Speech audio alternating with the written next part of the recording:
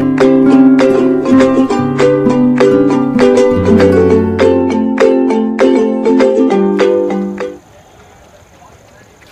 I'm Abhishek Lohiya. I'm currently doing my PGDM from operations from SPJIMR.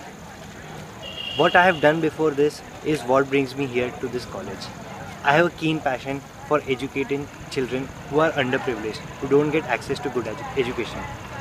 What brings me here is the unique initiative of SPGN to spread education among those who cannot afford it.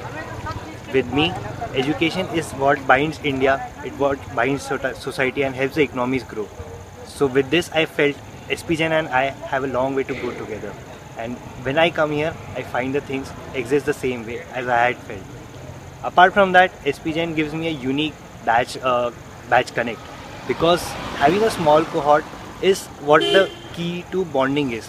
I know everybody from my batch, I know everybody in the senior batch, and hopefully I know everybody here. We are all good friends.